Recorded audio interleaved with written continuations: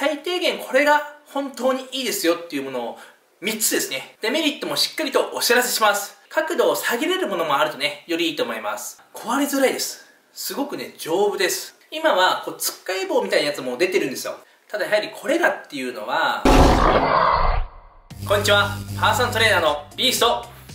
村山です。今回のテーマは、家で絶対に揃えてほしい筋トレ器具ベスト3です。どうぞよろしくお願いします。で、なぜね、このテーマにしたか。今ね、コロナが始まって、だいぶ皆さん、自粛期間が長いですよね。例えば、リモートワークで自宅にいることが多い。フィットネスクラブに通いたいけど、周りの目が気になってなかなか通えない。まあそんな地域にね、お住まいがある方もいらっしゃると思います。そうなってくると、やはり家でトレーニングするっていう選択肢がどうしても重要になってくるんですよね。私自身もお店を閉めなくていけない期間はですね、まあ、あの、こっちにあるんですけども、こちらにある自分のね、トレーニング機材でずっとトレーニングをしていました。まあ、うちにはね、パワーラックといってスクワットをするものだったり、スミスマシンだったり、ケーブルもあるし、ダンベルもね、45キロぐらいまであるし、結構充実したトレーニング生活が送れたんですけれども、そうでない方がたくさんいらっしゃると思います。ですので今回は、まあ、無駄なものをね、買っても仕方がないので、最低限これが本当にいいですよっていうものを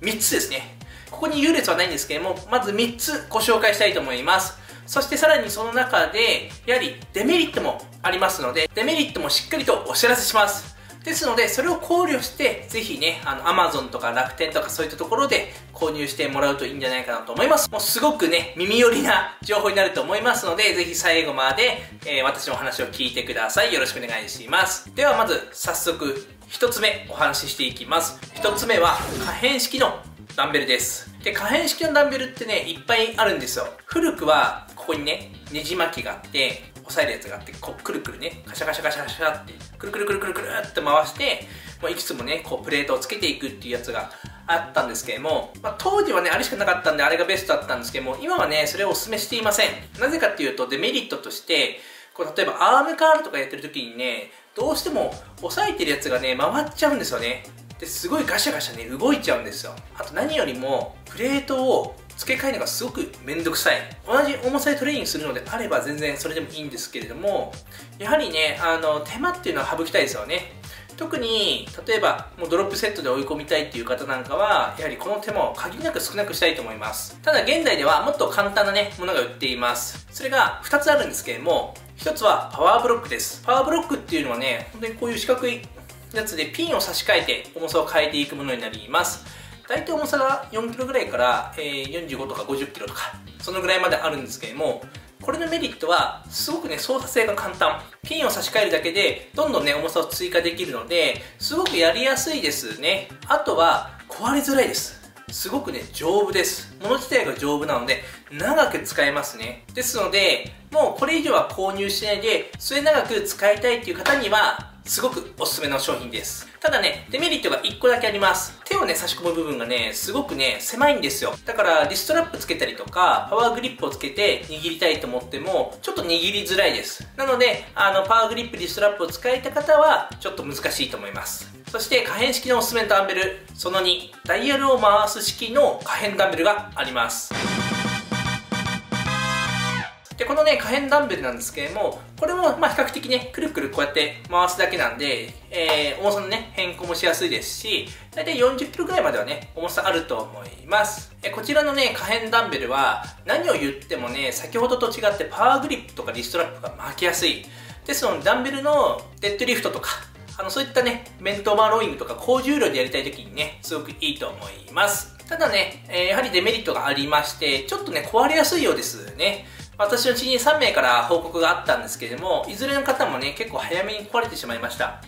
ダイヤル式っていうところが、もしかしたら器具にすごく負担をかけるのかもしれません。もちろんね、あの、壊れてなくて丈夫に使える方もいるとは思うんですが、私の知ってる範囲ではちょっと壊れやすいかなと。まあ、壊れても使いやすいやつがいいよっていう方にね、すごくおすすめじゃないかなと思います。そして、続いてご紹介する2番目はですね、アジャストベンチ。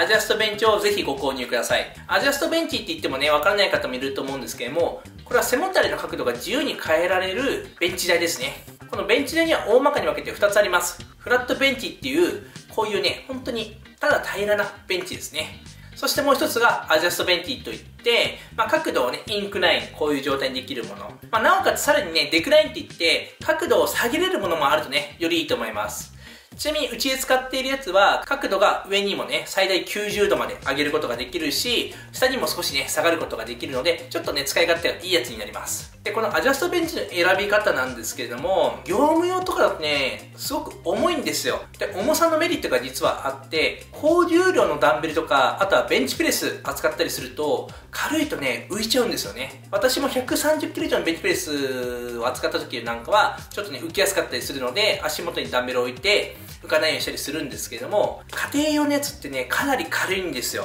かなり軽いからちょっとね重量を扱える人には難しいかもしれません。あとはね私自身が以前違うところで買ったものがあって組み立て式。組み立て式はねやはりちょっとチャッチーですね。あのチャッチーっていうのはやはり重さ自体も軽いんですけれども作りとして少し弱かったです。できればね組み立て式は避けた方がいいんじゃないかなと思います。このアジャストベンチは値段が様々です。安いやつだと数千円で買えますし高いやつだとやっぱり5万6万とか。これもご自身のレベルに応じて自分が使う重さはまだまだ軽いからまあ、あとはね、快適でもいいからっていう風に決めて、安いのをね、買ってもらうのも全然いいと思いますし高重量で扱っている方なんかは長く使いたい方が多いと思いますのでそういった方はねちょっとあの費用を多めに出して決して壊れないものそして使い勝手がいいものを買ってもらうといいんじゃないかなと思います。この2つっていうのは連動性が高くてダンベルだけでもねもちろんトレーニングできるんですよ。こうやってねアームカールもできるし背中のねこういったベントオーバーローイングとかも、別にダンベルだけでもできます。ただ、やはりね、胸の種目とか、あとは広背筋の種目とかするときに、このベンチがすごく便利なんですよね。やはり胸の種目で言ったら、ダンベルフライ、大胸筋を果たさせるにすごくいいですね。そして収縮種目のダンベルベンチプレス。これもすごくおすすめです。あとね、あの、ベントオーバーローイングなんかは、こう、もちろんね、こう、殻でね、こう押さえてやってもいいんですけれども、やはり支えてる時点で他の筋肉も多く使っちゃうんですね。そういった時に、このアジャストベンチを斜めにして、うつ伏せになった状態で引くベントオーバーローイングなんかね、私の動画を見てる方なんかは何回か見たことがあると思うんですけれども、やはりあの種目はね、効きますよ。すごくおすすめ。だから、この2つを組み合わせるだけでものすごいバリエーショントレーニングができるんですよね。だからまず最低この2つが欲しいと。そして体を作る上でもう1つだけ欲しいのがあります。3つ目、チンニング台ですね。チンニングっていうのはいわゆる懸垂ですね。もちろん近くに公園がある方なんかは鉄棒とかそういったものをやってもらってもいいんですけども、みんながみんなね、近くに公園ないと思いますし、あの女性の方なんかはね、夜公園に行ったりするとちょっと危なかったりとか、そういう心配もあるかと思いますので、自宅にあるといいと思います。で、チンニングの機械はね、できればこういうね、ぶら下がり健康器みたいな方がいいんじゃないかなと思います。今はこうつっかい棒みたいなやつも出てるんですよ。でもつっかい棒とか、えー、ドアにかけるやつとかも出ています。ただやはりこれらっていうのはドアの強度だったり壁の強度とかに結構依存するんですよね。特にあの持ち家じゃなくて賃貸の方って大変多くいらっしゃると思うんですけれども壁壊したりするとちょっと厄介じゃないですか。扉とかね。そうなってくると、ちょっとね、そういうの難しいなと思うんですよね。こう、買ったものの付けられないなとか、ちょっと壊れそうだなとか、絶対出ると思うんですよ。それを考えると、やはりね、あの、ぶら下がり健康器みたいな、こういうやつの方が、使い勝手がいいと思います。ただもちろん、これもね、あの、ちょっと難しいところがあって、基本的にはすごく、あの、グラグラします。これもね、業務用とはまた違うので、あの、作りとしてはすごくシンプルなんですよね。決してすぐ壊れるとかではないと思うんですけれども、まあ、グラグラしたりとかしてしまいますので、その点だけね、あの、知っておいてもらうといいと思います。あとは使わない時なんかはね、あの昔のぶら下がり健康器を買ったお父さんとかそうだと思うんですけれども、まあ、勝手にね物干し竿にされるというか洗濯物干したりとか、まあ、これもね あのまあ使わないのはダメですけれども使ってない時にうまく利用するのは個人的にはねすごくいいんじゃないかなと思っております、まあ、この3つさえあればあとはもういいんじゃないかなと思いますね。ただ、さらにプラスアルファ、もし加えるのであれば、ぜひね、あの、チューブとかね、そういったものを準備してみてください。チューブで自重トレーニングっていうのはすごくいいんですよ。ただ、そうではなくて、やはり本来はケーブル、あの、滑車ついたケーブル的にやりたいわけですよ。ケーブルのメリットっていうのは、張力が働いて、上に上げ切ってもずっと負荷が乗ってるんですよ。で、下ろした時も引っ張られるわけですよね。これをですよ、例えば、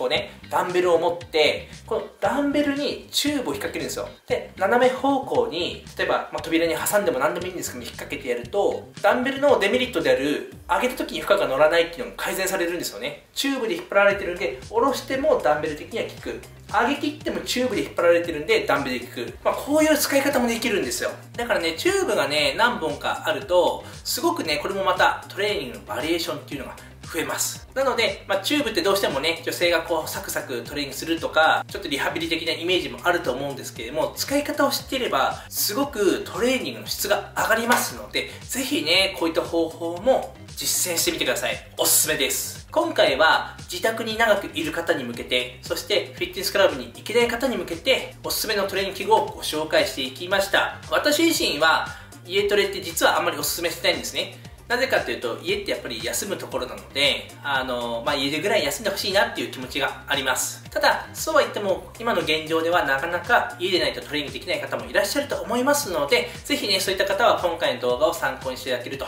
嬉しいです。え私のこのビデオではトレーニング栄養サプリメント情報を中心に公開しております。もしこの動画楽しかった気になった私と一緒にかっこいい体を作りたいという方はですね、ぜひチャンネル登録と、そしてグッドボタン、お願いします。また、Twitter と Instagram では、こちらでは流していない情報をですね、公開させていただいております。ですので、こちらの方も、いいねボタンと、そしてフォローをお願いします。また、私が開発している最高品質のプロテインゴールデンラスト、最強の脂肪燃焼サプリメントビジョットゼロ。こちらは下の概要欄から購入することできますので、よかったら使ってみてください。今回もありがとうございました。